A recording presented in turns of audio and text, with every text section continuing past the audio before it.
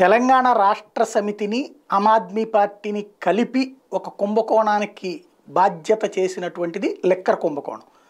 ఢిల్లీ ఉప ముఖ్యమంత్రి సిసోడియా చేసిన పని బహిరంగ రహస్యమే. ఇదివరకు ప్రభుత్వం ఆధ్వర్యంలో నడిచే మద్యం దుకాణాలు ప్రైవేట్ ఆధ్వర్యంలోకి మార్చేశారు. ప్రైవేట్ ఆధ్వర్యంలో అంటే డబ్బులు ఎవరికి పోతాయి? ప్రభుత్వానికి పావు వంతు ముప్పావు వంతు వీళ్ళకి. ఆ వ్యవహారం అంతా నడిపించింది హైదరాబాద్ నుంచి అన్నటువంటిదే ప్రధాన చర్చ నడిచింది. కవిత స్వయంగా పాల్గొందంటూ అప్పుడు బీజేపీ నాయకులు మాట్లాడినప్పుడు ఢిల్లీ నాయకులు వాళ్ళ మీదన కవిత కోర్టుకు వెళ్ళింది. వాళ్ళు మాట్లాడకుండా నిషేధం తీసుకొచ్చింది. తర్వాతన దాంట్లో మీడియా కూడా నేను ఇంతకుముందు చాలాసార్లు చెప్పినట్టుగానే హైదరాబాద్లో మీడియా ఎవరికి కూడా ధైర్యం తక్కువే.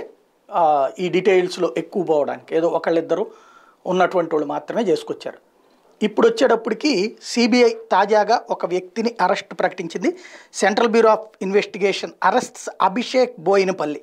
In ongoing investigation of case related to alleged irregularities in framing and implementation of Delhi excise policy ఇది అరెస్ట్ అయినటువంటి అభిషేక్ బోయినపల్లి. ఎవరు? అంటే ఇదిగో ఇప్పుడు ఈ ఫోటో వైరల్ అవుతుందన్నమాట. అంతకుముందు అంటే వీళ్ళకి అత్యంత సన్నిహితుడు కవిత గారికి వాళ్ళతో కలిసి తిరుమల తిరుపతి దేవస్థానం దర్శనాల దాకా ఫ్యామిలీతో కలిసి వెళ్ళగలిగినటువంటి వ్యక్తి. అది ఇప్పుడు బయటకు వచ్చినటువంటి వ్యవహారం. అయితే కవిత సేఫ్. ఎందుకంటే ఆమెను డైరెక్ట్గా ఇందులో ఇన్వాల్వ్ చేయలేదు. ఈ కథ నడిపించినటువంటిది వెనకనే ఉంటారు. నాయకులు రాజకీయ నాయకులు నేరుగా చాలా తెలివిగానే చేయగలిగారు. కవితకి ఏం సంబంధం లేదు.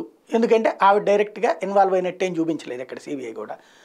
ఈయన చేసుకొచ్చారు. ఈయనే అదేదో అనూస్కి ఓనర్ అని కూడా చెప్తున్నారు. మొన్నప్పుడు అనూస్లో కూడా సోదాలు జరిగినాయి కదా. కాబట్టి అది కూడా చెప్తా ఉన్నారు. ఇక్కడ బేసిక్ కాన్సెప్ట్ అలా ఒకటే. అవినీతి జరిగిందా అంటే జరిగింది. జరగలేదా అంటే జరగలేదు. ఎలాగా అక్కడ కోట్ల రూపాయలు వచ్చేటువంటి డబ్బులు. అంటే వంద రూపాయలు ఒక మద్యం దొక మద్యం బాటిల్ మీదన. ఈజీగా అర్థమయ్యే భాషలో చెప్పాలి డెబ్బై రూపాయలు గవర్నమెంట్కి ముప్పై రూపాయలు కొనుగోలుదారుడికి వస్తూ ఉంటే అంటే కొనుగోలు ఎవరైతే అమ్ముతారో ఆ వ్యాపారికి ముప్పై రూపాయల లాభం డెబ్బై రూపాయలు ప్రభుత్వానికి వస్తున్నది కాస్త. ప్రభుత్వం పది రూపాయలు తీసుకుని వ్యాపారికి తొంభై రూపాయలు ఇచ్చి ఆ వ్యాపారి ద్వారా తమకి రాజకీయంగా సంపాదించుకోవడం అన్నటువంటిది నాడు ఆమ్ ఆద్మీ పార్టీ చేసి అసలు ఈ విధంగా చెయ్యొచ్చు అన్నటువంటి సూచన ఇచ్చినటువంటి వాళ్ళల్లో ఇక్కడ టీఆర్ఎస్కి సంబంధించిన నేతలు ఉన్నారు అనే కంటే కూడా ఇక్కడ ఉన్నటువంటి వీళ్ళు ఉన్నారు ఎవరు? ఈ మద్యం సిండికేట్ ఉంది.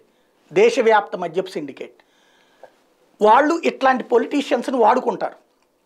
జస్ట్ మీరు వచ్చిపోండి అమ్మా ఇట్లాగా. వాడుకుంటే వీళ్ళు అక్కడ జస్ట్ మనోళ్ళే వీళ్ళు కరెక్ట్గా చెప్పగలుగుతారు మీకు మంచి పాలసీ అని చెప్తారు. వాళ్ళు కూడా ఓకే.